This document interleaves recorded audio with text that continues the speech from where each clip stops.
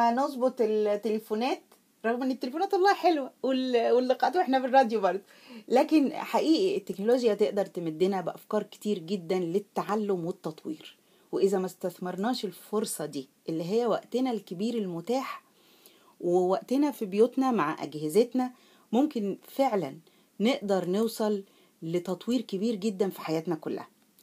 برحب بكل أصدقائنا المتواصلين معانا على صفحاتنا على الفيسبوك. برحب بيكم جدا. إحنا متواصلين معاكم على الشباب رياضه صفحتنا الرسمية حالا على الهوا ومتواصلين من امبارح على نادية النشار دوت نت. بشكر جدا ولاء مشاعر غالية صباح الفل. أستاذ محمد توفيق محمود أستاذ عبد الحي علي أستاذة منى فاروق أستاذ مصطفى الدرديري دكتور تامر المغازي أم سيف وعمر أستاذ شحاتة البنا وأحمد إمام. صباح الخير يا أحمد. أستاذ محمد صادق أستاذ حمدي يوسف أستاذ إيهاب شبانة أستاذ آه، أحمد حربي حربي أهلا وسهلا بكم جميعا. أستاذ عماد حكيم أستاذ مصطفى هقرأ الرسائل بعد ما أكمل تليفوني مع عزو. صباح الخير يا عزو مرة تانية؟ طبعا معلش بعتذر جدا. لا ابدا.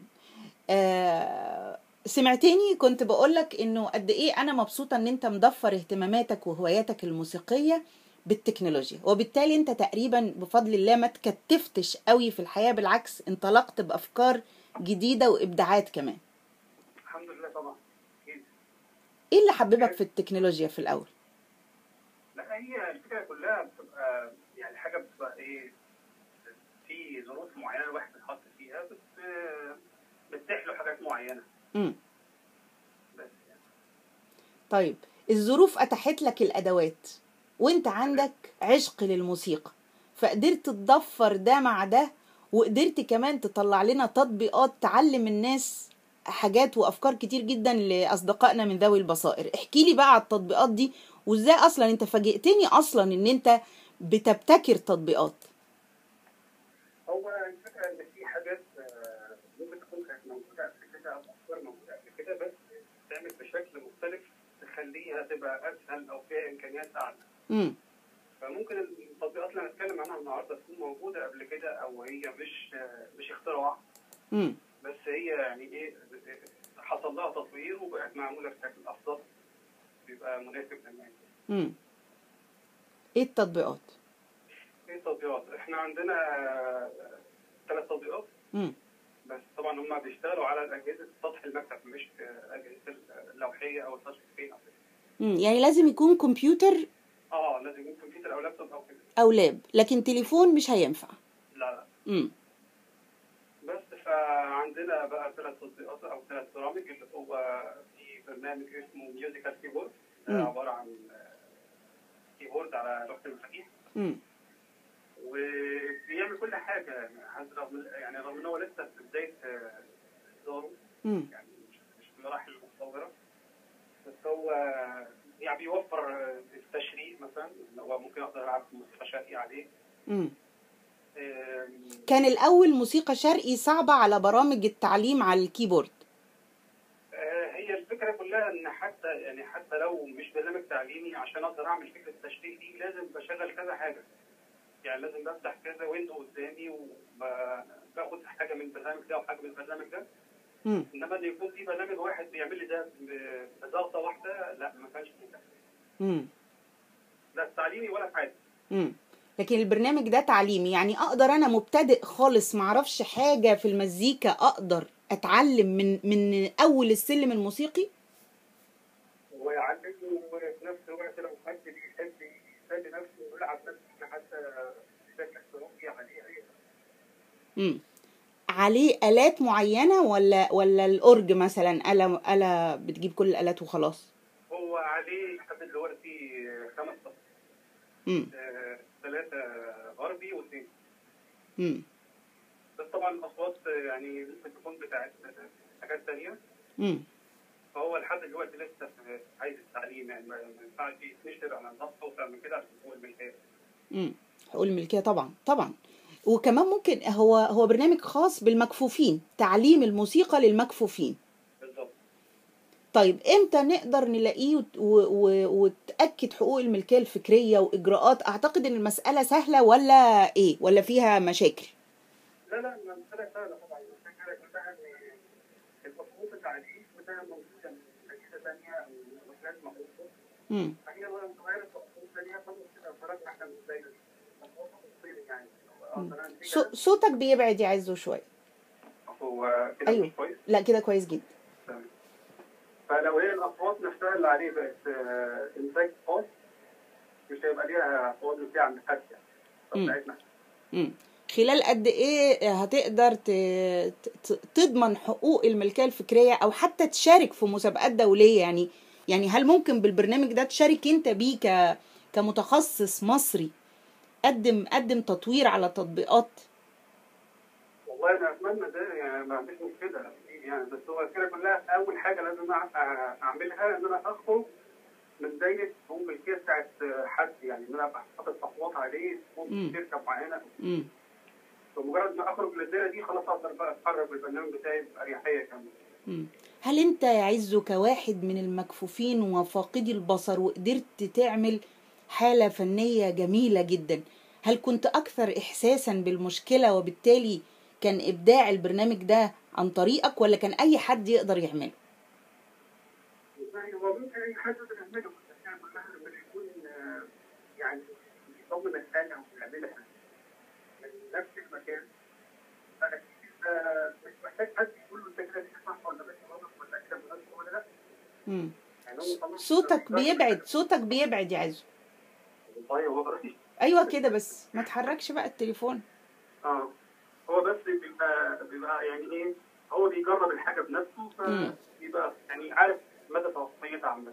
أنت عارف توقعات المستخدم هتبقى إيه ومشاكله اللي ممكن يصادفها هتبقى إيه بالظبط ومجرب كمان يعني مم. مجرب الحاجة بنفس الفكرة بتاعته مم. طيب إيه التطبيق التاني التطبيق الثاني هو بيعلم طريقة مم. اللي هي طريقة الكتابة باللمس. هو بيعلمها من خلال إن أنا أقدر أدوس على الحروف بتاعت ال keyboard. وأسمع كل حرف بيتكون من كام نقطة لأن هي البرايل أصلا نقط عبارة عن رموز بتتكون من نقط. وكل رمز بيرمز لحرف معين فهو كل ما بدوس على الحرف بقدر أسمع الحرف ده بيتكون من كام نقطة بالظبط. ولو أنا اتعلمت ممكن أقدر أكتب بالطريقة دي على الكيبورد ويطلع لي الكلام اللي كاتبه دوت بالطريقة العادية. مم. يعني يعني تحويل آه ده كويس جدا. يعني أنت تقدر تخاطب أي حد بالبرنامج ده. يعني المكفوف يقدر يوصل بالنص بتاعه للمكفوفين وال... وال... وللمبصرين. هو كده كده يعني آه، طريقة كتابه إن أنا أقدر أكتب على الكمبيوتر موجودة يعني إن أنا ممكن أقدر أتواصل عن طريق الفيسبوك أو كده على المفاتيح العادية وفي إنما عشان أكتب بطريقة برايل نفسها. اللي هي بتبقى عبارة عن ست زراير بس بكتب بيهم كل الحروف هي دي بقى اللي بتفرق شوية مم. مم. ممتاز ده ده متاح ولا لسه برضه في نفس مشكلة الملكية الفكرية لا هو فكرة إن أنا أكتب على ال keyboard ويطلع نص عادي يعني أكتب بطريقة برايل على ال keyboard ويطلع نص عادي. كانت موجودة في برنامج موجود قبل كده. مم. إيه التطوير اللي أنت عملته؟ آه الاختلاف هنا بقى إن أنا بقدر أعرف نقط الحروف دي لو أنا ما اعرفهاش يعني أنا دلوقتي عاوز أعرف اصل البرايل بيكتب إزاي. مم. فهدوس على الحرف العادي على ال keyboard مثلا حرف الألف حرف ال- الحاء حرف الجيم أي حاجة. هيقول لي بيتألف من كام نقطة. هيقول لك ناطقا يعني؟ آه. يعني مثلا الألف ده مثلا نقطة واحدة فبيقول آه واحد. آه آه آه, الباء واحد اثنين كده في- طبعا في يعرفوا بقى الرموز دي.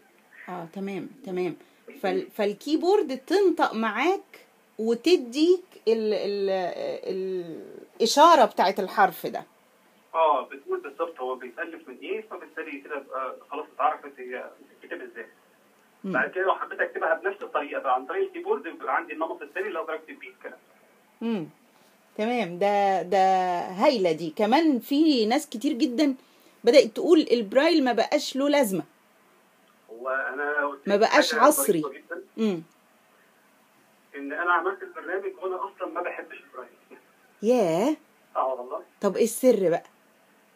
مش عارف هي الفكرة جت في بالي إن أنا كنت الأول عاوز أعمل فكره البرنامج اللي كان موجود ده لأني كنت ناسيه هو مم. أصلا البرنامج ده موجود مدفوع.